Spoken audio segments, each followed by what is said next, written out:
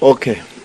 Abarebi ba fatres tv mwebare kubayo mwebare kimwe. Amazina ni banyeta twesige faruk tv y'umuruho ni yejo fatres tv kandi mwebare kutuhagera no kushanga ngo buri keire ni mugezo. N'abari ya social media ni mugezo wo kutambuza ubuntu murano mbunagoku numbunagoku mwebare abakutwenda turi aha twitter nimugire ni fatres tv aha instagram fatres tv aha youtube fatres tv aha tiktok fatres tv mwebare nimbareba tiktok mwerisa karungu. Erizatwabona omugisha gw'amaani n'okushanga ngu tutayayisa omuntu w'amaani nimumwijuka omu electoral commission munonga. Omu ihanga ryona ari ari omugambirizi w'ekitongore eki. Kandi nimanya eki ekitongore kiri so much sensitive. Konka kuranga ngu akakitwara yakitwara yakisya yakisya mpaka ahi yarekiire ningira ngu ekyo kyonka nkimanyisa kihango. So niwo ogwo twine gyose amutaremu konka naza kuba natugambira bingi akeza tumwine omu ngaro itaano. Nasa kuba buri kaire na- naaba ari ari bize takahumuraga we atura ari bize omu bantu ari oku nabakorera kirungi twantwija n'okwija inahi twahikaho aba bodaboda abantu nibasiima ngu akabakorera oruguuto. Okuruga koransi okuhika okwoku ahu bari abantu. Maramu yoona yagishuka yoona thank you. Aya. Mukama wanjye ese nenda kukura fatres television. Fatres nikimanyisa ki Ni Fatres. n'izina ritari ritari spicy ritari fatwes fatwes nukuku ni izina rya tv kandi nirungi faruku munonga twesije kaniyenda kitegerezaga kandi kandi kakitegerezaga tubasa kutamburira kushanga omuntu na innovating nabaka ekintu bagira ngo feeling the missing words. Feeling oyamu ekigambo abantu bakimanya. So fatres tv n'abashemererwa. You're welcome. mwebare kwija kuntayayira Mm. nkaba mwana wanjye mwebare no kwereza eh, egi ni ni creativity egi. Eh, n'omuringo gumwe ogw'okuryetingiramu ningashi kureetaho omurimo n'entaasi. Nambwe nhataba videos video cameras omu magyenyi niwaza waza kubabingamu kunkubireeba n'omu mikoro ahabwokuba kunkuba ndi aho ndeeba fatres live obugyenyi bwa nanka ndeeba fatres live mukoro gwa nanka. So twaza kwimutsa orutaro n'abaza video camera z'abatwire nibakwata ebishushani nibakwata na za videos nibaha abantu ebintu Eh? babibika bibika. Konka ikintu byoreke konka nyowe ninsiima kureeba omwana muto naija n'obwengye nk'obu ah, akakora savisi kandi ekamutahiza Aha. so hati aho nooreeba ngu nooba ori omwana wa wa president museveni okuba ebintu byakunda kandi nibyashomesa omuntu kuteekateeka okakora okabaho kandi okabaisaho n'abandi so mbwenu ekyo kambanza nkikusiimira omanye ngu omurimo gwokukora abandi ngu baremere konka iwe ogukozire kandi gukugobeise kandi gwakorere n'abandi Eh, mwebare munonga iwe na mutahi wawe webare munonga message yoine abantu abari kureba fatres tv Mm, n'abahagizi bawe n'abijeni bakuratira okwiha izooba eryozarwa mm. mpaka akakeire ekyokubanza n'okusiima ruhanga oturabiza omuri ogwo oguhwire Eh, abamwe bagurwariremu abamwe bagufweramu abamwe bagugiriramu ebizibu abamwe bagutungiramu buri omwe oku gumugendeire ah, nitusiima kureeba ngu waire kandi gwahwite tukiriho so ntu- kintu kisimira mukama ogu nitugushabira kandi nitushaba ngu byakuba bituremera omuri ogu ngu oguhwire mukama bituhereze omuri ogu Ah, tweyongere n'oku- n'okukundana urukundo banungi abantu ko bakundana bateekateeka kumwe bakora kumwe batambirana. Ahabwokuba ebi- ensi egi- ensi egi obu orikugireeba ebintu bingi byona byona byona ebirimu nibiba biri ebintu bigumire. Nooja kuzaara omwana oshemererwe kwara akure atarigamu gye akusaase kandi obu okuzaara ni kurungi. Aha. Nooja kugura emotoka yawe nungi noogivuga nooyesiima aha muheru ku erikugwa ekumuzya ninga ekwita nooja kunywana omukago nenshakara omumu gumwe nigukureebya gukusaasa kandi okunywana kuri kurungi. Konka harimu ekintu kimwe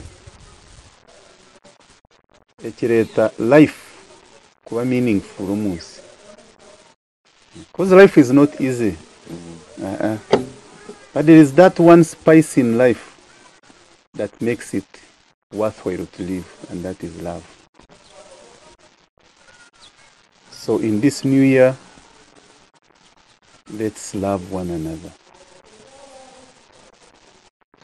Turye mukwangana abantu nibangana.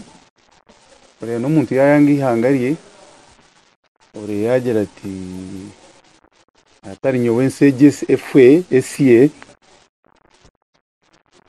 you know? Eh, so nyowe ninshaba ngu tugire okukundana kandi tukuta omu nkora ahabwokuba niitwe ku- kurikuyamba tokareebaga wareeba omuntu worikukunda okwohurira omu magara. Kanshi wo wa- watuura oti omunsi nokundana n'abantu nabo nibakukunda? Nabo origye munonga. Ekindi ogu omwaka ogu gurikwija twongereho aha kukora Hmm? ko ndambaire ninguza ekitookye kimwe ningabire omu musiri gwange hati ogu omwaka ogurikwija nangwa mpitse ebitookye nka bishatu ninga bina ko ndambaire ninguza ruta zange itaano z'amate omu mwaka ogw'enkumi ibiri abiri n'eshatu hati nfeyo munonga nangwa mpitse nka nka ikumi kare ninga na. Ikumi zandema konka nyongereho hari itaano so nikikuru munonga ogu omwaka kuhwa tukareeba tubaire nitukora tuta kandi tuketeekateekera ogu ogwija tukakora tuta kwongerera aha kutubaire nitukora habwokuba kutukwongerera aha kutubaire nitukora hati gavumenti egira emishoro egira entaasi. Hati oshanga ezi nguuto ezikuba nitubanja gavumenti ya- yagira sente z'okuzikora services ezitukuba nitwenda omu gavumenti. Gavumenti neija kuzikora abantu baayo baba baine entaasya Eh, konka abantu baba bataine entaasi gavumenti na yo neegumirwa. Kurundaana sente z'okukorera abantu. Tingumawo oreeburiza aha bwenki socialism eh, ya- yagumire neehwa amaani Eh? tinkakyetegereza tokakyetegerezaga ahabwokuba ebintu byona bikaba biri bya gavumenti gavumenti eke- eke- ekeeba neekorera abantu buri kimwe. Itaka nkeerero riri erya gavumenti buri kimwe kyona kiri kya gavumenti hati gavumenti yayeshanga omu kushoza munonga kukira oku erikutaasya kuruga omu bantu so Mm. hati ekyo kyahenda gavumenti kyaguma nikigihenda nikigihenda nikigihenda enshoza ni mpango konka entaasya ninki so naitwe nk'abanyayuganda kutwakwongeraho tukakora tukakora tukakora ahabwokuba ensi egi n'okukora Eh, kuba utakozire ensi neeguma kandi kuba orikukora oyetambira otambira n'abandi so mbwenu egyo niyo message eya- rukundo okukundana ah, ey'okukora kureba ngo twageze aho twakora twayongera aho kutubaire nitukora entasiyo yitu yayiyongera kandi nikibasika ahabwokuba kokuba nooreeba gavumenti neegyezaho kuta sente omu groups z'abeetereine sente ezo obumwe tiziriho n'amagobo nangwa eziheereza abantu ngu bazikorese bazigarra omu- aha aha muhero gw'emyaka oba n'ebiri oba n'eshatu?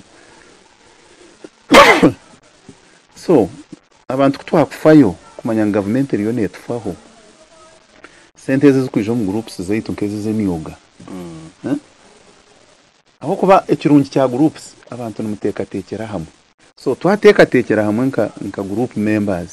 Tukitunga sente kuruga omu gavumenti tukareba ngu twakora ekintu ekirikwija kureetera entaasi abantu aho ekindi yo ningamba ekyentaasi kweyongyera omu maka nikiija kureebeka kandi ekyeyongyera gavumenti na yo igira sente ati ikigira sente ebona kukora ekashyikiriza ebyetengo by'abantu bayo Okay, thank you. Ninja mwamuhura. Ejo niyo ya Chris ya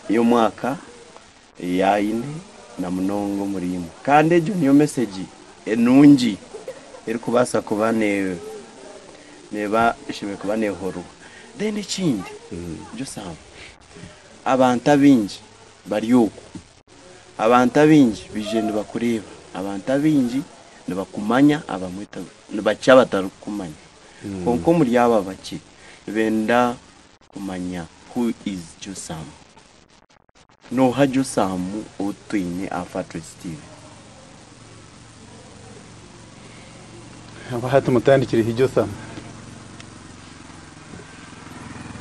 konka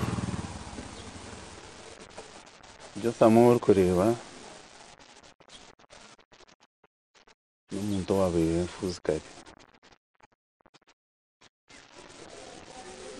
omu myaka omu myaka nka ikumi azarwa azarwa ryari az- iryo sama tarimu akazarwa nshanju n'etaano Ubu nkazarwa obukanga konka mbwenu itwe abariisa obu haka hatariho emyanya kugira ngu hati ogu n'omwanya gwawe wagumamu nambwenu aho nitusiima purezidenti museveni owatureetere okushutama hamwe tukamanya ngu okushutama hamwe nobaasa kukoreraho ebintu kandi obeho konka obwakare okoshanga abariisa nibaronda nibaronda nibaronda aza bukanga arugayo aza nyabushozi arugayo aza kyenkwazi arugayo aza nkahi abo mushana n'ibindi Eh. so tarimo akazarwa bukanga karuki Ah. Mm. ekeruka sindi kumanya akazarwa bukanga hati bicweka bikihinduka Eh. aho kuba bakuba ibintu banshoborera ry'icyaro hari ukanga aho tubaho konka nyowe akangambira kare kare ngo kazarwa bukanga Eh, konka abanye bakuba ibintu bakishoborera tubakira ibiro Ah, ebiro bina by'okwezi kwa kane. Niyo wenda nshanju n'etaano omu mwaka ogwa kinaana n'etaano ahagati y'orutaro tu tata kari kagizirwe joji akafa kinaana n'etaano aho orutaro ndaza ku Ah, mawe ni we wafiire bigire bimwe bayikuruka akazi kaisi tata takafiire akatwara omwishomero omu myanya zawaye nankurata nawe takiro omwana yashomayo ku yayahikayo bya- yabyanga so tata yazayo kuza kwivuza sente ze omwana ombaire nimpeera ayangire kushoma mbwenu mumpe sente zanje mwiheho ezanye zashomeire mumpe baransi yanje abishomero bambwira ngu muzeeyi mbwegyo tuyonka oriita omwishomero so kuyarebere sente zitakurugayo hati yankwata omukono yantwara yagira ati ijo ze kumperezayo baransi yange so nyowe nkaza nkatandika kushomanyire kwezayo baransi nkagaruka omuka nko kwakuza kubipinga bakakukwatirayo. Mm. Eh, so kinaana n'etaano yafa nagaba ntahire ekyokubanza eh. Orutaro rwatubingayo omwishomero cyaho. Ntoma primary school. Eh, eri masindi tukaba turi masindi okay mu- rugabukanga muzamasi Aha, aha, ensi egi yoona tukagituramo ya amasindi niyo yahererekere tukazana buremezi orutaro rwatushangayo twaruhunga twaza amasindi rwatushangayo. So tariho hitaragire konka masindi ni ho ni ho tata yagwira aho. Then tukargayo tukaija kwehongyera baitu abu twabaire twine kunu y'omurunkore Twahikiriyo aho gavumenti bagihamba turi omu muhanda eyobote ubu y'umucakanga yo. Obu nkanshi nkantandikire P1 P1 actually nka- nkantembere P2 konka ntakagishomire Eh, so tanaga- tanagumizamu kushoma. Kunaija kinana na mushanju. Then oshatu ni kinana na mushanju. Natandika ekya kabiri Mm. so twaija aha kanyaryeru twashoma twashoma kanyaryeru egi orikureeba obu hati nogireeba erimu erimu amaju marungi erimu faamu zinungi erimu amashanyarazi erimu buri kimwe konka itwe obwire obu twahika kanyaryeru eka eri ekibira nomanya egi eka eri paaka okay ya keri nasho kuhitse gavumenti yashaba paramenti ngu edigazetingi square mile za shatu n'eshatu reero batemu abantu abarigirira era bahungire aba- abateganisiibwe orutaro so y'emiti Mm. Eh, so omuti nigwo classroom nigwo chalkboard nigwo ntebe Mm. kandi nangwa nawe nibatushomesa kugira ngo bakaba bari qualified teachers aa tukaturaho kugira qualified teachers nk'uko kitakutangaza harangagira uko wakora ibintu ibi kandi obuntu bwaha nitugenda kilometers nka zirikurenga ikumi buri zuba obu zirenga ikumi ori omu muti enjura negwa okushoma kwosha omushana gukuba mwingi okushoma kwosha. So twaruga omu miti twaza omu tentisi twaruga omu tentisi twaza omu classes z'ebinyaatsi twahika aha kweyombekera ishomero rya kanyere primary school. Hati aho niho leti Eric Kirimani omugurusi ogwo Ruhanga aguma amuhera ekihumuro kirungi ni ho turiguma nitumwishukira ahabwokuba ni we yakozire Kanyariro eriho hati ei turikugenderaho akatombekesa ishomero rya Kanyariro primary school n'engaro zaitu. Timba ebiina mukatema ebikondo mukaronda embazi mukabaga gavumenti ekaija ekabashakaza bushakara so mukama yatugumizamu atyo nitushoma ayi nagire kuhikira omu kyamushanju twagaba twagizireho egyo structure yindi yo ningamba so kutari turi omu kyamushanju aho nituza kwijuza ebya senior batureetera za fomu twari nitwijuza kuronderaho amashomero Eh, first school first, first choice second choice. Ezezo so nyowe kuba bagimpaire fomu egi yokuronderaho amashomero aga senior nyowe nagibika ya Eh?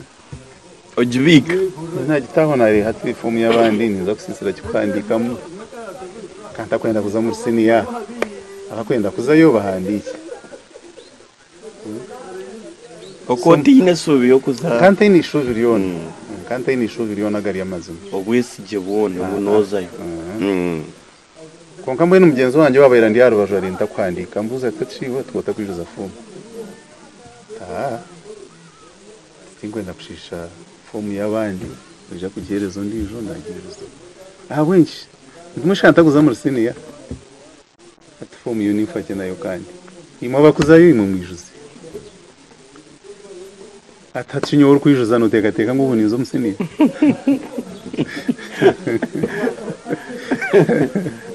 yankansoringa. Eh. nanye tinguzayo atandika iwe yatishisha harubwina ati mbeshe bwino nonda kutwara iyi so kwangambira ati yonke byabana nanye tikanshisha harubwino nyijuze bine yijuize konka fasitiye singitantare nkani nkunda ntare skuru munonga. Mm. ah tweza ebizamu mbija tubikora. Ekyakiriza yo kunsasa nuri zatizabiga kwijiza cyamushanga Ah, zija abana which year was that? 1992 okay. Kimwe rwenda cyenda n'ibiri Nibi. so kuzayizira abana bashatu bayija bayinina mbayijamo. Nkarira kumara nk'ebiro bibiri. Ninyeshereka ndigumukanza nk'okumwishandura ntaranga ekyo otakuza kukikora. Ahakuba nomanya ngu tinkwenda kweyongerayo hatiina waana ombeze nki Eh? ntiina za zitakwetengesa waana ozihereza omuntu ourikumanya ngu naaza kuza omuri siniya. Mbwenu zahungamba nk'otaine matsiko weena kumba ndi aho bangambira ngu haza hariyo omushaija mbarire egyo ngu ni dokita ngu aine irwariro konka nayamba abantu. Eh, nku wakumuhika akakushomesa so bandagirira nkwata kori yange ya ntare nkwata results zange nguragaramu n'ebigyere nza koransi nibatanza mbara. Nyeturaniza omubarwaire aragura aragura aragura kwampika hati omutsigazi ati noshashota. Nti nyowe nti tindwaire eh atogeze ota nti tindwaire nti konka ntaine okundagiriire ntireba kori yange ntireba results ntibanyetsere ntare ntinakweshengereza nti mpera nangwa tamwe mwe ndagaruka. Ati shora shora shora. Nti nti tamwe ati shora. Mm. ati naza kwetera polisi kunde byagiwe mu polisi kosi nomangu bya byasisika shora. Ngaruka omuhanda gwange kuruga mbarira kuza kuhika aha mpaha. Okwana oshatu naribatise ebigyere kuza kampala. Hati ncunduka manya mutare ebyokushoma ndiyesaasira so kumba ndi aho gavumenti bagira ngu aba abaana mubaheere aba baihire yina ina so nza ntare shomera siniya y'okubanza kutaya mukaaga aho naho amatsiko gaba gabura ndikuteekateeka ntata na nabaguraduate wa senior 6 tinkyeyongerayo mwaka kyaho kyenda na munana Mm. eh, mpeza senior 6 haja scholarships. Kumba ndi aho. Ntunga omugisha gwa scholarship egyo kuza kushomera amerika ni nashomera degree zibiri america. Eh. omwishomero la roche university. Era america ejeba bampango eh, pittsburgh. Okay. Eh, Pittsburgh, Pennsylvania. Nkagenda n'abandi bana b'abanyayuganda abana nka makumi abiri urwo mu bicweka bitari bimwe na bimwe bya uganda. So nazayo nashomera iyo diguri zibiri. Naheza bagenzi banjye abo twagenzere kumwe ndaja mpatisha omuntu yahikira amerika kokurire twaheza kujwara diguri zi ngora tugarike uganda kweli Ninja bareba tinkumanyiwe kuri nawe wahikira america nokora ki aha. So tu- tubwabwana tati tuguraduatingire twaheza kushoma. Option zizo roho nokuza uganda ninga kuremera kuno. Mwaba kwenda kugarukayo nti? Bakandeba batekateka mushana nkomutwe aine kiro abaana banga nshutama na roommate wanje Mm. na hati hariho nakora omu gavumenti kugira nti mbwenu nomanya tutahemuka. Gavumenti ekatwehoreza kwija kushoma tukayihayo obwenge tukagaruka omu nsi yitu tukagikora. Tukagikorerayo Mm. mbwenu hati kuba turi aho ngu twashoma twatunga obwenge kandi twabureka kunoya gavumenti neba yafeeru. Naitwe nituba twahemuka.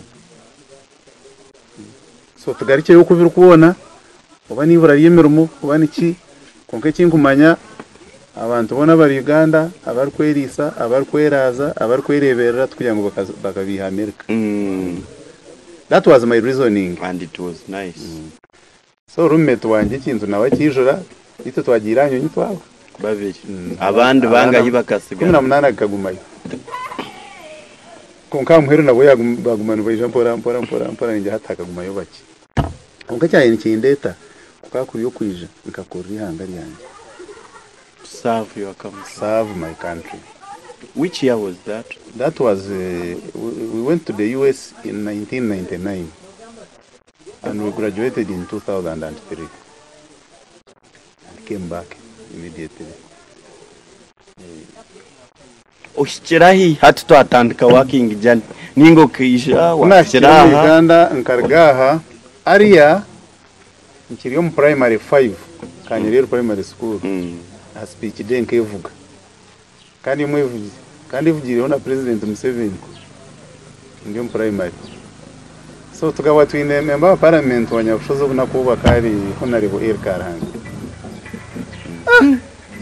ankunda nya identifying speech day kweho akari umujyenyi mukuru ati munyitera kanako akwata umukono ati yebari ukagura umukoro day y'amashomero egerayo ikerekanye rero primary school. Okay. Eh.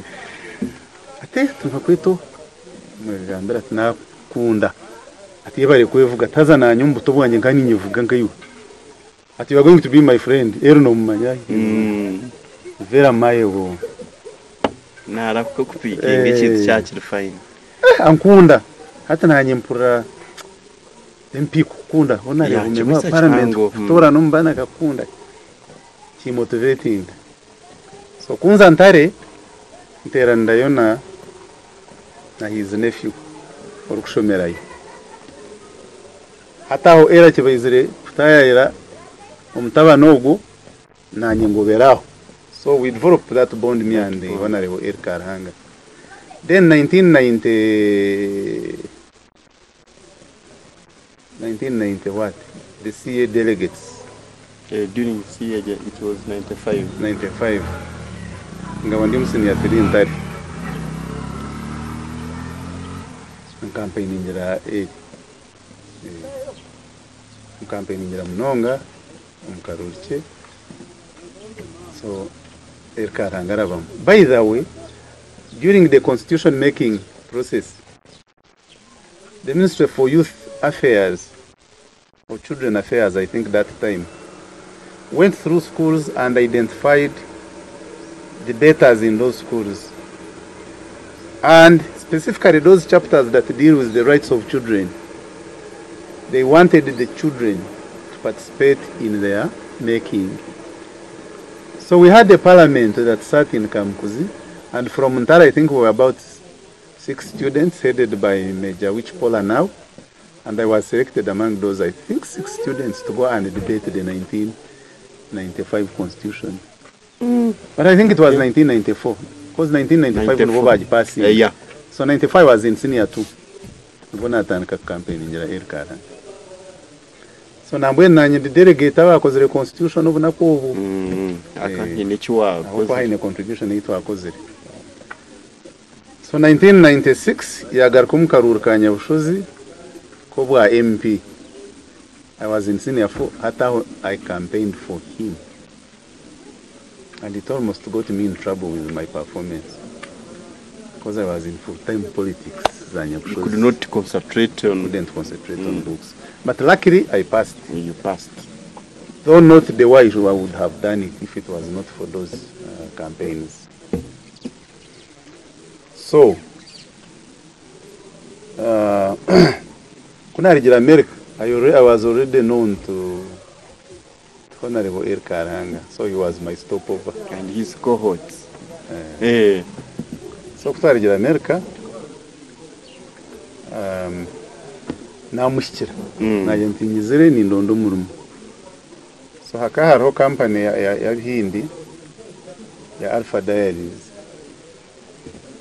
He knew them or he had connections with them or they were pa- partners Mm. so yantungiramo umurimo uh, i think two months into it rwa- rwanshobera ejo namugambira nti eh biri mu- mu nshobere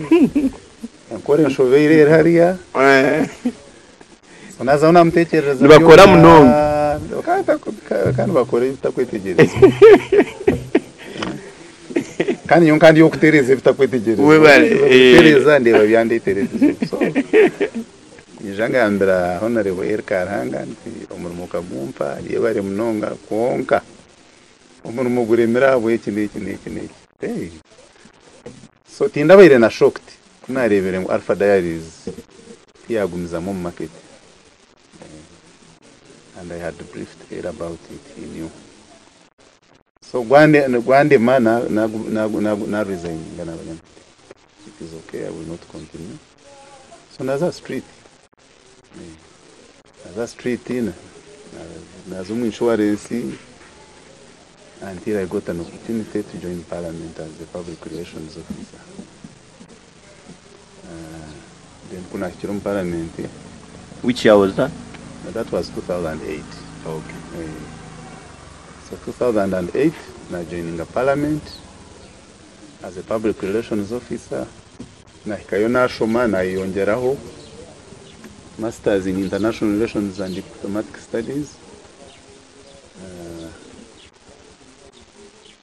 so my classmates then, one of them is the current Vice President of the Republic of Uganda, Her Excellency Jessica Lupo.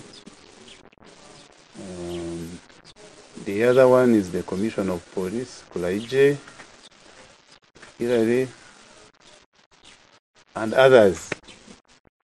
So nayongeraho diguri ya kashatu. So 2012, that's when I crossed over to Electoral Commission when there was an opportunity. Uh, 2020, I retired and started on my private uh, business. okay there aho henye naho electoral commission ugitaha Mm, ukora mm, tuza kureba turebe ibindi bine biri kugambwa ngo hine byabireho kurugamo amahurire gatera. Message cye ninga shirayiti cye yo kubasa kwa a ensage kamanye cyabireho kinyine ebe mwashomire tariho cyabekere y'amazima na kimwe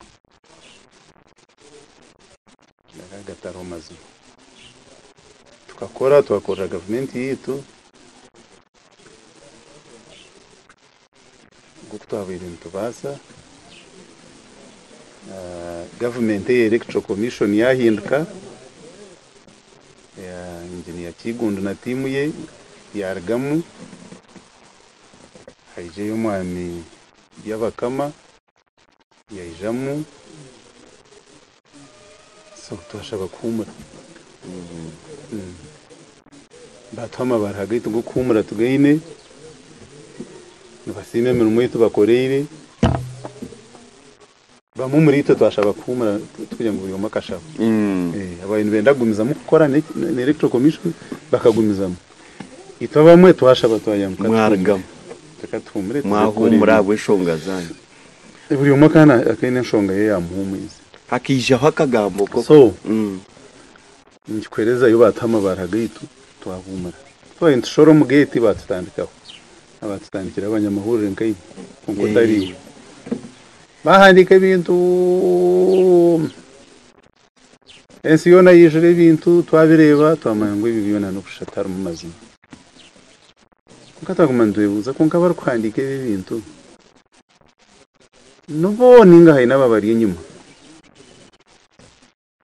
so twabatwara omu kooti twareeba mu ihurire ryabairire rya kamanda rya- ry'amahurire agandi tikatubatwara omu kooti ko barabe baine obujulizi nibaija kubuta omu kooti mbwenu itwe tutagamba tuhuname aga amahurire agarikutandikaho ebi byona chance. Echansi kandi kagaine evidence ebi twakozire ka- gabireeta omu kooti so twaza omu kooti nago twagatwaramu Eh, twagatwaramu omu- omushango gwatuura n'okutuura kandi kwiha enkumi ibiri makumi abiri maabaizire gucwa ogw'omwaka omukwezi kumi na kumwe okuhwire okuri kumi na mukaaga bashanga ngu abaini batandikaho. Byona byona byona ebi mwahuriire ebi mwashomire hariho n'amazima. Omuri ebyo byona gabe garimu nangwa gakuhika nakati bashanga ngu byona. Ekeri propaganda y'okushisha amazima gaitu. Kose emirimo ya gavumenti kokuba nogikora noteekwa kumanya ngu hariho abarikusiima n'abatakusiima. Mbwenu ngira ngu abatakusiima izooba eryo bakihiirwa kugira ngu itwe twashaba kurugamu batembera aho bashisha banda kushisha rekodi yitu konka ninsiima mukama kandi ninsiima na gavumenti egi ya president museveni. Ne- negenderaho amateeka kandi koti sinikora Eh, ntabaasa kuba harimu abantu babi omu ruzimwe konka agari amazima koti za uganda nizikora ahabwokuba omushango gutwire kandi tukagira tunagwatura turyaguhendera so so bashanga ngo mpurega kagatayine nangwa na kiti kiti ekihikire kigaine gatandikaho kandi naimwe mwegi abanyamahurire. Omuntu kukoresa kushisha nanka ngwabo kwata kwikizanana nanka kandi uri omuntu nkawe uri omunyayuganda nkawe konka akakurwanisa entaro zitari zawe n'ekintu kimwe munonga nambwe hata amahuriro agaga ngaga gutwataire mukoti tukasinga hata bari aho nibeshengereza tutwineho kwiha empiha hata kasha amazina gaita kumaine mushisha konka ekirungi record ekaba set okay that there was nothing nothing true in whatever they wrote about Taremwa and Wakojo. By the way, there are even other colleagues who retired at the same time with us. But they never featured in these papers. They just They picked at- Taremwa and Ruakojo and targeted the two and maligned them. Huh? So any reasonable person should have asked, but they retired four people. One of them was a, a, a- director. Another one a manager at my level. So why would Taremo and Ruakojo be the one to be maligned all through? So we failed to understand that, but we said, for us, we are cadres. We are loyal to our government. We know the, the- what these people are doing and who is doing it. And we wanted them to provide evidence to court, which they failed. And we won, and they are supposed to pay us some good money. But now they are telling us, can't you forgive? But you made money on our names. Give us some money also. Yes. Okay, I think you've heard there were a lot of accusation, including registering NUP, including By the way, NUP was registered way before I even joined the Electoral Commission. The records are there. Whoever really is interested can visit the Electoral Commission and find out. Okay? So records are there. Way before I joined the Electoral Commission in 2012. Second, as a public relations officer of the Electoral Commission, what role would I have in registering a political party? Leave alone NUP. Any other party. Eh? Thirdly, we have we have an act of parliament, Political Parties and Organizations Act, Yeah. that allows individuals to register parties. So there is no reason if if if if if uh, a party satisfies all the legal requirements that it should be rejected. Maybe also people need to know that. Huh? But for purposes of record, NUP was registered before I joined the Electoral Commission. maybe. And why why NUP? Why not FDC? Why uh, why not ANT? All those are opposition parties. Why do you why do you talk of NUP? Why are you not accusing uh, accusing us of registering FDC, registering uh, uh, registering ANT? Then there was the Farmers Party, I think. There are about over 30 parties registered with the Electoral Commission. So that is not true. Uh, it is just somebody's guesswork. But it is not true. okay. I think you've heard ningashi mwahurira buri kimwe kiri igambo ibyo byona n'ibigambo bya byose mutaremo not kugira abc arimo Maybe nakureka kanchi gari kimwe cyo muri nyankore. Ati nupu obano nupu obano nyupu. Eh? Eki kiri cyona bakagihandika ntakagire mu electoral commission. Nyo kuza kuza mu electoral commission nkashanga ekibinde cyo cyahandikira. Ebine byehandikise na electoral commission birenga mu makumi ashatu. Ahe nabitsigiriye. Eh?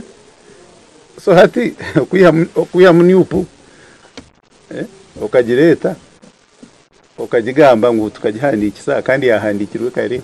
Kanshi biriye bibindi FDC yo kabata kugigambaho anti kabata kugigambaho man farmers party eje abedo bwana kamaya na yo ne haziri yunyingi munonga. Eh? So mbwe nabo ningira abarukoresa ekyo nabo bari abantu batwandikisa mu mahurire konke kirungi amahurire kutwagatayira mu koti twagira tatu mwere mahandikire byona mureto ubujurizi de koti ngigi mu buteho bukababurira bashoboka ko tubakayijamo umurundo omushango gumazire emyaka nk'eshatu konka bakarubatamo umurundo byajya kabeta babura kwija abayazi babo babatsigaho. Mbino kandi ngu haino hayi nabakoresa kandi bakora enshobi bagigwamo bashanga bagigwiremo batanyine kibarakore nambwe hati nabo kutereza sente. Eh turiyo tubabanja hati batandikire kutera mutusasire mutusasire Eh, naitwe titwe timushe mu rubayi mutugambire kari abayi bari inyuma. Naitwe titwe mwe nito ndimyangu tukantufake naimwe yabura mu mutusasire so nho twahikaho. Ninjya mwabihura ebyo ni byo bigambo ebyagambirwe bikagambwa abantu n'orugambo mbwenu. Hati orugambo oru rwayenda nko hati ni cyo yanageza okore konka abantu barutwara baruta omu mahurire biya bakabasinga no kubasinga. Hati nibenda kubakeita ebyo byo ni byo byona ebyabibiro hakariho ebigambo ebyo ngu josamutare mwana mugenzi we ngo bakaregisitaringa nupu ngo babone sente nyingi kuruga omu bajungu nka bingi bingi byona bimwe bintu mureba of which buri ebibiina nibikirizibwa constitution ya uganda. Nicyo harimu nageza okworeka Eh, bashati boreka nkubuze. Ebi byababona sente nyingi. Hmm? ebikwetengesa kugira ngo uhandikise ekibiina kirabemu. Bihandikire omu kitabo. Birimu kora eki kora eki wakora eki okakora eki ekibiina kyawe taine kikukizibira kuhandikwa hati omuntu owakubaire na- na- ogu orikwenda okutamu esente ngu ekibiina kihandikwe Eh? naba naziteeramu ki? Atashikirize ebyo bitakwenda nangwa na kikumi Hmm? niziba ziri ezenki ahabwokuba omu mateeka wohikiriza ebyo byona nohandikisa ekibiina nobwokubiwe faruku so hati okurikutamu esente ezo ngu ekibiina kihandikwe naba nakihandikisa kitaine ebyo na- na- niziba ziri ezenki wandakoresa common sense sente ezo nezenki oro rugambo ninjya kikasi k'ekibiina kiremirwe bari kugira ngo kitaraba kubiha. Konka omuntu nikirizibwa hapana. Eh. Eh, hapana. Kandi kacyayi kacyayi cyara hati na, first of all nakugira ngo bacyandika nyunga ntakagira mu electoral commission. ukutakagiremo so sente bakazimpa ntakagira mu electoral commission. Icya kabiri spokesperson wa electoral commission umurimo gwo twandika ebi Aha. mbwenu urenga umuntu wabere nabigamba. Mbwenu nko kugira ngo kwabere okushisha twena tushisheho nanye kanshisheho. Nanye nshisheho harataremwa. Eh, ubwo wabere nareba ataremwa nagambirira gye electoral commission nashobora enshonga akarumeri ino so hati akagira tata nanye kanshisheho. Bashoire bakandi batekateka ngo bakatubinga batagumba ngo tukashaba. naye bababingire bababingire necyo kubingana cyamanya Eh, bakakigamba na cyo kirimo Eh, taine watubingire ah tukeshabira twarigamo. Eh bakahandikisa eh baka sente bakariye baka sente bakariye nyingi. Asho nuko bazeyo bareba ubu kandi kankira no mu parliament ninjira konkani byo munsi iyo to kubigendaho amanya ngo nikuku ndikurga gadar mazima yunuhura kitene kikwitse okay ninjya mwacura by the ejo shonga twagituraho kake kugira ngo at least ebe explained well. Atine turi kuza kushika mu christmas. Tutayayireho nareho eh karahanga. Ona el karhanga honorable Eric Karahanga n'omuntu o- politics za nyabushozi za kiruhura district. Nangwa n'ihanga ryona tokamwihamu kandi bo batandikire movement nibo bagitiremu sente eh, n'omuntu w'amaani omuri ekyo kyona nayoreka iwe ori omwana we. Nkoku wakigamba yakurebiye n'obushwere bwawe n'okugira amaka marungi nkaaga toshuwa n'uwo mwari aka akakushendekeza okuza kushwera. Ebyo byona. Tukamutayayisa afatwe steve yabi- yabishobora. Nabo yagaruka yashoborera who is honorable kajwenge wilson. Wilson kajwengizi mp for nyabushozi. Kandi ekiri kworekwa ninga ekirigambwa ninga ekikureebwa ensi yatandikire kureba ngu noyenda kwija kandi kwesimba akaruura aka kwesimba omuri nyabushozi ahishaze iri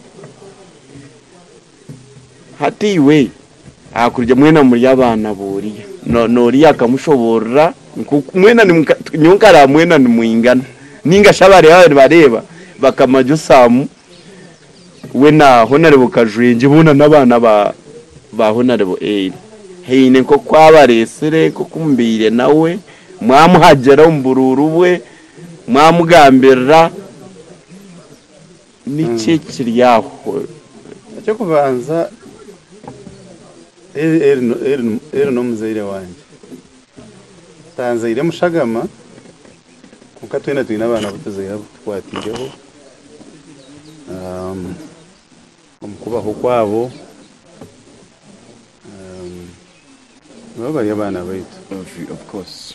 Omuza kucwekanisa nk'aha hakurema. N'abazire omuntu akukwata omukono ocwekanisa ogwo naaba yakuzaara Ah, omu izooba ryangire kurenga arikurengesa naaba yakuzaara Ah, omu bwamugira oti ntitsya faruku akamukwitsya ogwo naaba yakuzaara so ero n'omuzaire tiwanje nyenka era ye aine abaana baingi abya kwatsiraho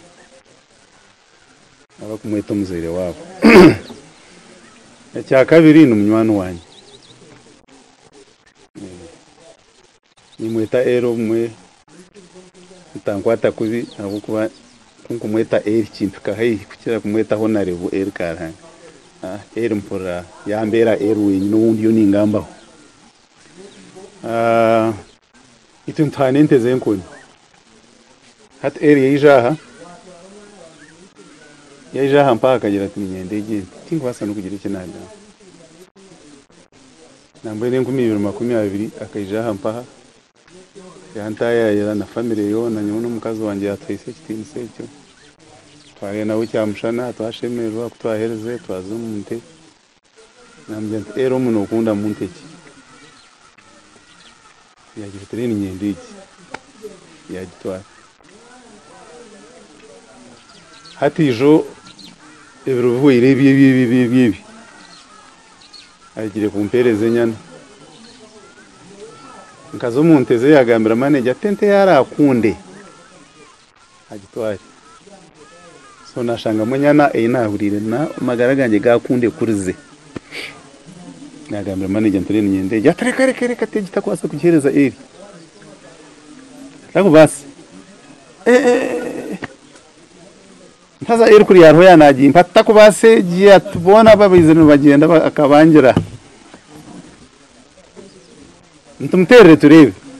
Mwana ya umwana ya yamutekera ibishane yagireba yambuza ati jo samwe ntejo yagikunda we yakugira ngo yagikunda nategwa twara yagikunde ntegyo agitware.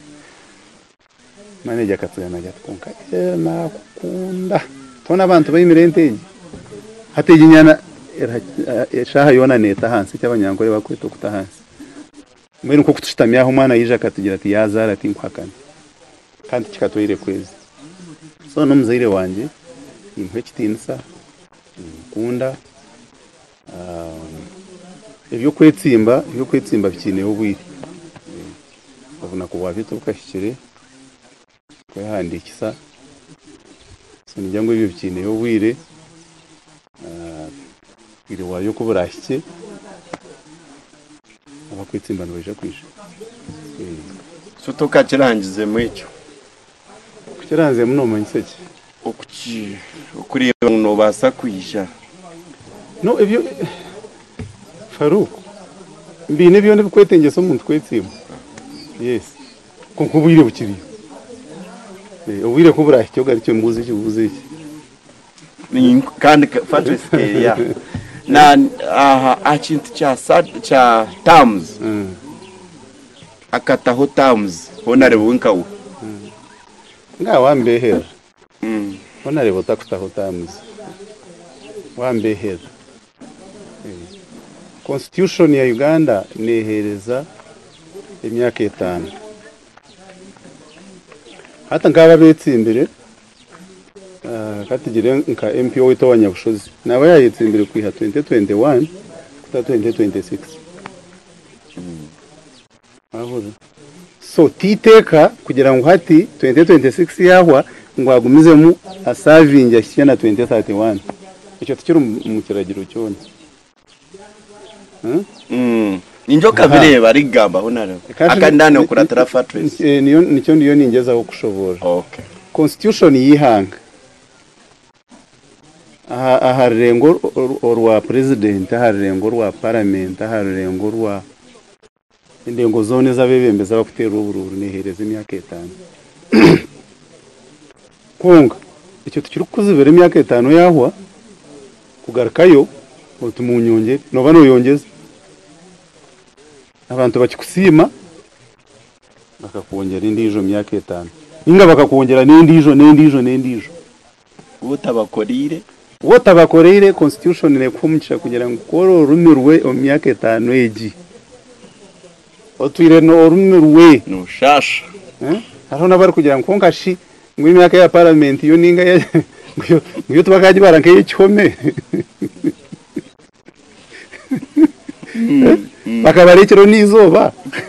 n'izuba ekafunde kareka kuba etanu konka ekyo tukiri kubasika constitution reka bibiri n'ikicweka constitution nehereza imyaka etanu ugisavinga abantu bakiba bakurihire kugira ngo utaha turonde faruku.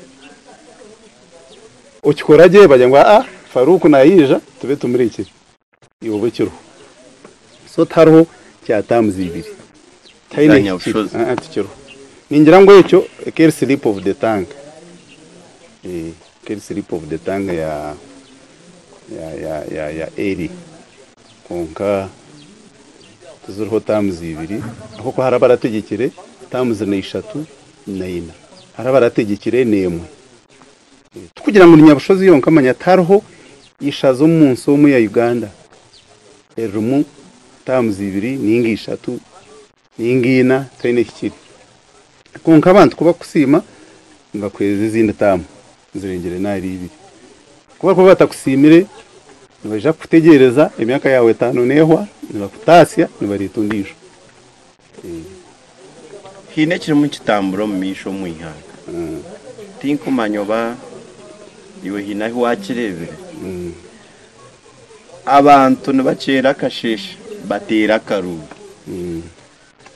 bateerera nanga. Kuba kamuteerera akaruru azayo. Aba- ebabe nibarohooza okushanga ngu nabako- ni- nabakurra obumwe byanga A- aguma oku ayanga agaruka omu bantu. Iwe nogira nkireetwaki aza omuri bamemba ba paramenti aza kampala. Nikireetwaki ningashi obutakurra abantu kyo nkire ebimwe ningira abame- aba- abebembezi nokweyekoreza emisharaba. Okahika- ahabwokuba noyenda akaruru okahika omu bantu bakagambira ekyo tinza kukibakora bakagambira ekyo tiniza kukibakorera bakagambira ekyo tiniza kukibakorera Eh? mbwenu okweyekoreza omusharaba byo gwe- gwe- gw'ebyokuza kukorera abantu kandi otaine buryo obwabyo nari otaine kokubaasa kubikora. Ngira ngo egyo niyo nshonga nkuru so okihikayo oshanga ngo byone boyo noraganisa tibine kakwate nibyo uriyo noza kukora wahikayo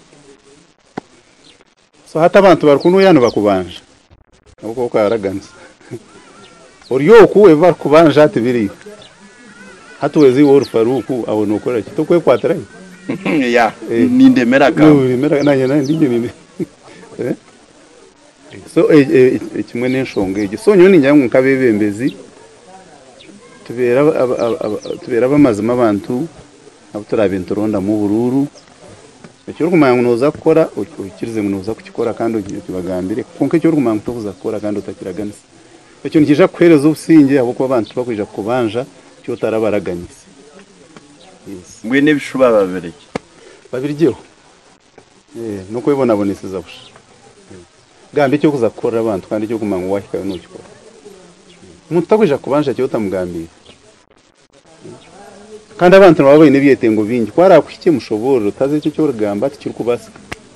Eh abamwe nibabishaba batakumanga kutiri kubasika. So n'umurimo gwawe wonko mwebembezi kushoborera omuntu okayota ate eki oriyo nooshaba nokukira nikikusasa konka Eh, then habasika eki so tuyambeho n'abantu kubetegereresa ebirikubasika n'ebitakubasika then shikandi aba ministers. Aka side za kunuya. Ine ba ministers aho twine. Konka abantu babo nibarira nibacura. Tugire ngu niyo eshonga egyo. Baruka kawantu akashuma mingi tinkumanya babuuza itonya bushozi twine minisita sekyo tinkakigarukamu hati rero baba baine ministers omu bicweka byaba barikurira babe nibo bakushobora. Okay. okay mwamanya utwine utwine niryo samutaremu nagezeho kututwara omu nshonga emwe n'emwe konka mwahurira noha noha ryo samu yashoborera kintu ky'obwebembezi aza ya- akyatamu hiine nkoku yakiteera okwenyuma omu maisho yamara yakiihayo kyona. Yagaruka yihayo enshonga ebyo byona ebije nibimugambwaho. Tuwe wenka n'abandi. Abiyabe nasavingana yashoborera koti ebiyashaziremu ovuki mukabireeba kabiri public biri omu muhuri aho ni ho turi kuruga tukareeta ekibuuzo eki yes. Ogiire omu nsooko washomerayo washomera aha. Warwo wasavinga gavumenti yesi wabona challenges nk'uko abandi zibareba.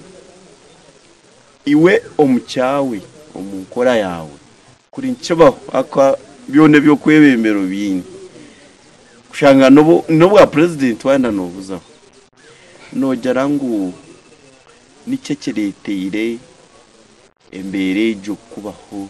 Embeereha egyo kushanga ngu abantu noyebembera ohikaho wahika ensi ekutamu ningashi Ati- kukunda Aka- kyayenda kushanka kire kitwaragamu konka Mm.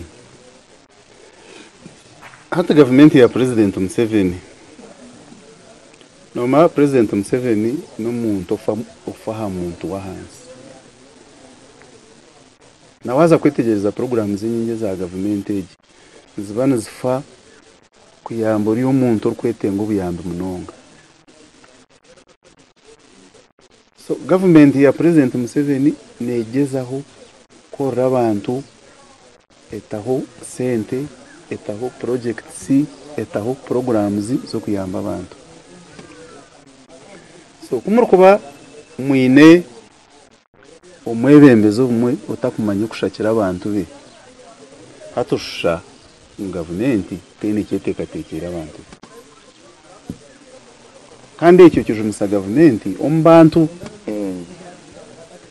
kandi ekyo kireetera n'omwebembezi ogu otakumanya kushom- ku- kushaka kireetera omwebembezi otakumanya kushakira abantu be. Kumucayura omu bantu hati kiri nk'oku weija aha faruku okahika omukooma nebaasa kubeera omu ekyokunywa konka wagyenda otanywire noija kuteekateeka oti konka egyeka terimu kyokunywa.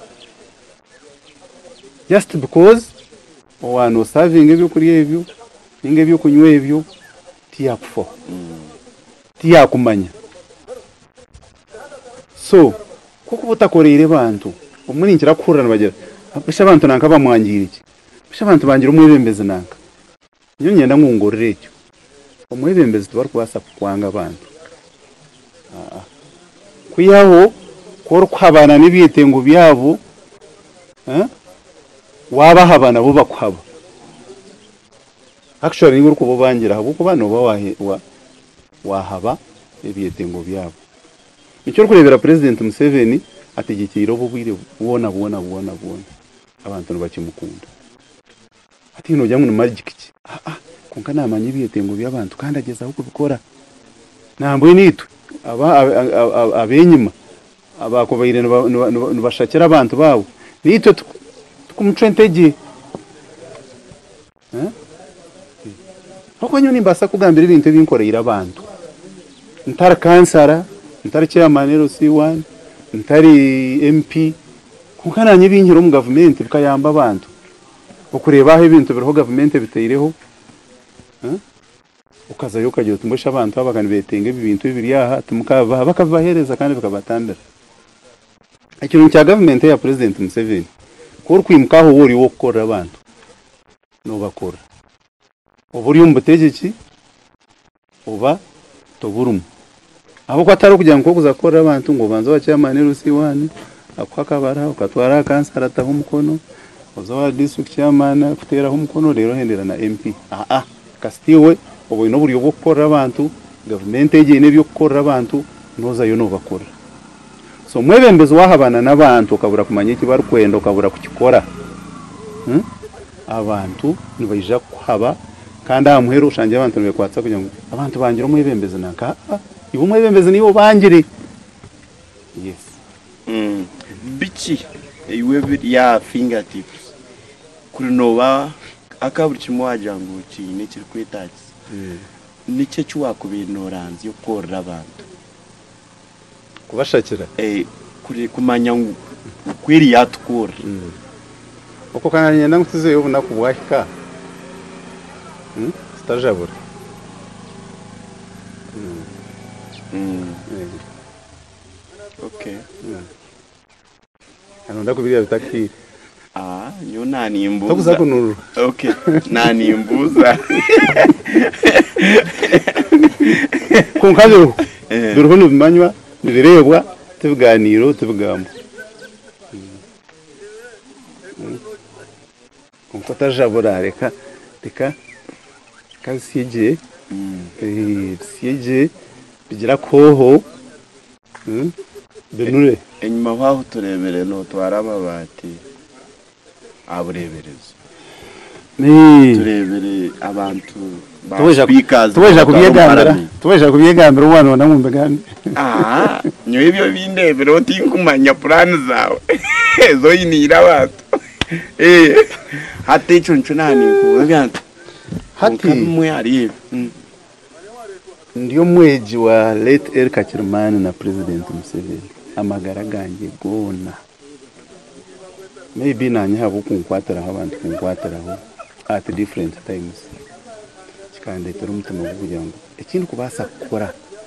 Kakorera omuntu nkimukore hati hata nkaga amabati agoriyo nogamba agashakira yashera amabati ryashira amabati rushanje kagatwisa mu banywani banje Eh, bishop no akozera umurimo murungi bishop Steven namanya akabungwa so nanye narundo kunda mukwatsi bishop bishop go gukora umurimo guri kushabuti nkamukwatsanta kuyanterere nagira ntija namukwata umukono namutwara mu banywani banje atwereza amabati yabo agandi nagari kushakara amashomero gari mu gavumenti konka ko kushitama ha bicweka bindi biri kubi. Bija kuzayo nubiha y'amabati iwe nogumuta ine amabati kandi n'amashomero ngenda amabati so nanye nkazayo nabashakirayo amabati Hmm? n'ebindi n'ebindi n'ebindi n'ebindi n'ebindi ba speakers nkabatebekanisiza ba speakers b'amagombora nkabatebekanisiza omukoro gwo kuba training uko noreba induction induction Niba- niba- niba- niba- nibaija bari ba cancers baruga omu mirika bari ba cancers bakika amagombora berondamu ekizo gitiifu harimu na speaker ati speaker atandikiraho emirimo ye kandi ataine kushomesebwa uko emirimo egene kugikora so bakaija bam- bampika bangambira nabarondera omukugu omu byaro ku gavumenti orikubaasa kubatendeka baketegereza gye emirimo ya ba speakers omuka kushanga na speaker nakora ogwa chairman ninga chairman nakora ogwa speaker so nabaretera omutendeki omukugu omu byokushomesa loko government act yabashomesa bashomerwa aha muheru ninya nabairiza kukingaho omushomo ogwo banshaba kubatungira omugisha bakaza kureba parliament speaker oku arikukora Eh, so nakigumizamu nakibakorera parliament ningimanya kandi agikoreire nyine y'emikago nahanika batwikiriza nahabatwara babwabwana na speaker wa parliament babwabwana na vice president. Barambura parliament bashomesebwa emirimo ya parliament barebe oku oku parliament speaker arikukora n'oku barikukora barugayo bashemereirwe munonga kandi begutse bakabatakaza yoga. Bakabatakaza yoga. Bakasinga. Eh, akantukura ebigambo byabo. Eh, ni byo bari. Mm. okay. Then kagambo chakoine yesu kahumana aka mukasavinga mwahuma nibihe byakureteye kumura? Icyo kubanza cyabyona no kugira aho ubwire bukora ibyawe kwikiriza ukamenya uti nkoze umurimo ubu nagushyitseho abandi nabo babasha gutandikira aho bagumize munanye kandi njye maha ngira icyo nakora icyanjye Mm. icya kabiri okumura ogw'omurimo tikikuza birakorera gavumenti omugundi omurimo Mm. Eh. hati nobasa kuba nokora nka civil servant nyenshakara oshanje waba nka chairman wegomborera kunoba nokorera abantu nokorera gavumenti konka Eh. abantu ko barakusimure bakwereza obwamemba bwa paramenti so okumbona nokuhindura aha mirimo woki n'amagara nkati nindisa nimpinga ninyangu nobireba byariyo koka so nobasa kuhumura ogw'omurimo oze kukora egye endiijo nikyo niyo ningezaho kworeka okuhumura omurimo tikugira ngu oze omunju obyame obwire busheshe omwaka guhoteho ogundi mpaka aho oraferi aa ogungu maybe ogukozire noreha hatariho kisi kyokwenda kwongeraho hatiza aharuguru y'ogundi nagwo omwe okaba musi hati ogukoragye kunorebeka nko ine buri kimwe akurugira ngu twarebe ensigi ngaha wambeheza noyenda ki? Ngaha wambeheza inyenda ki? Ninyenda kwekorera nimanyisa omu biroto byawe. Omu biroto Kale. byangye Eh, nyenda ngu uganda egume riri ihanga ry'obusinge nyenda ngu tukore twena tugire entaasi atutambirane nyenda ngu abantu batunge services nanye ngoberemu Mm. nyenda kukorera abantu. Kandi kuko ntwire nimbakora enyo ni cyo kyetengo kyangye ekyo nyekorere nkorera abantu nkorera ihanga ryanjye Eh, abantu ndebe ngu babaho ndebe ngu abaana bashoma ndebe ngu buri kimwe kyabagye kubiri kubagye nanye mbigenderamu mbagye mbigoberamu niwo bomwari yaba Na- bakontributing aha, mboma bakontributingire kandi nabo bakigoberemu Mm. yes hariho hariho sikafo Mm. na munongo mu ndohoza y'abantu omu bwonko bwabo Mm. teri sikafo ngu nereebwa Mm. konka haine endohoza eriho omu bantu abamu nibareeba nibenda bahindura omu bwebembezi. Abamwe. Mm. abamwe ngu no. Mm. ahabweki turikuhindura omu bwebembezi ahu turi nitureeba turi fayini Mm. noriya haine oriyo kugira ati ah tuhinduremu iwe nogwa he? Norekireeba ota egyo ni demokurasi demokurasi neyangu twakuhereza omwebembezi okumara emyaka etaano agwa purezidenti nankahe Yes. Mbwenu mu mucencuri mu myaka etaano egyo mumwetegereze. Kumurashange ngu abakoreire mutamurekura. Kumurashange ngu aremirwe murondo ndijo Hmm? mwashanga ngu abakoreire omwebembezi ogu mwashanga ngu abakoreire mu myaka etaano mutamurekura.